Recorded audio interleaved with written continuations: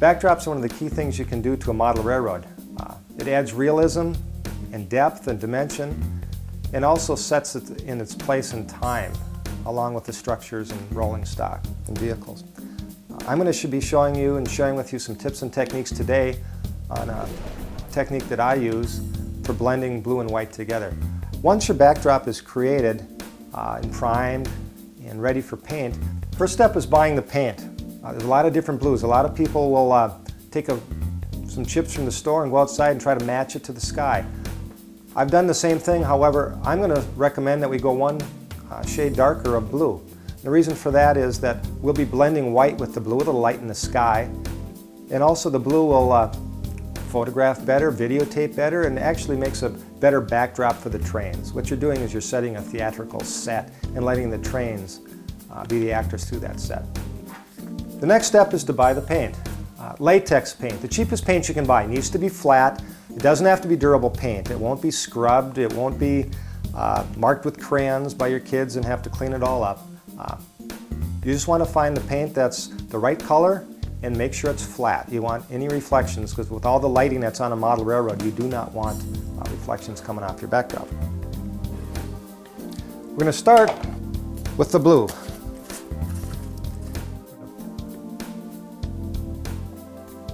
There we go. Loading up the roller here, some blue. Move this out of my way. The backdrop preparation is key. Uh, this is masonite. Now there's a number of different materials that people have used. Masonite is inexpensive, it bends easily around corners, and it's perfectly flat, uh, which makes it a real nice backdrop. Some people prefer styrene. The reason for that being is that styrene doesn't shrink. Masonite, uh, in weather changes, humidity changes, if your room has any uh, change in temperature and humidity throughout the year, it does form cracks, and there's really not too much you can do about it. Uh, unlike drywall that you can tape seams, masonite doesn't have a beveled edge. But normally the cracks are not uh, very visible. What I'm doing here is trying to get a nice even coat of blue. The key for this technique is to get a lot of paint on. We'll be painting the white while the blue is still wet, so we don't want the blue to dry too rapidly. Just get a nice even coat. Make sure you don't get ridges. It's just like painting your living room. I'm using a small roller because the backdrop I'm painting here is only four feet long. Certainly in a bigger room, you'd want to use a bigger roller just to cover more space. What's nice about this technique is once you get the blue down, uh, if you do too much and you can't complete it, it doesn't hurt to have blue as a backdrop.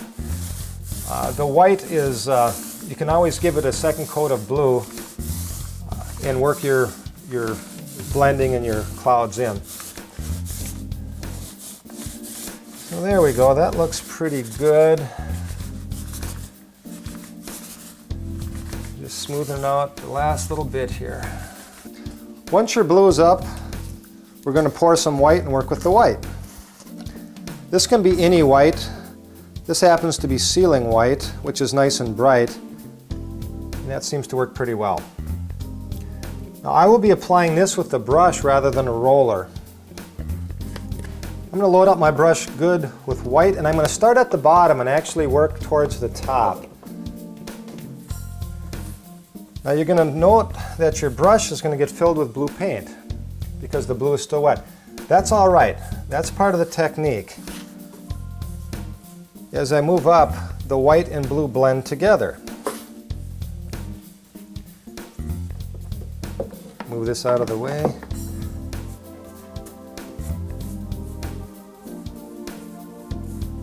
Now depending how high your backdrop is, you can blend quite a ways up. This is a 2 by 4 foot backdrop, and I'm going to go about halfway up.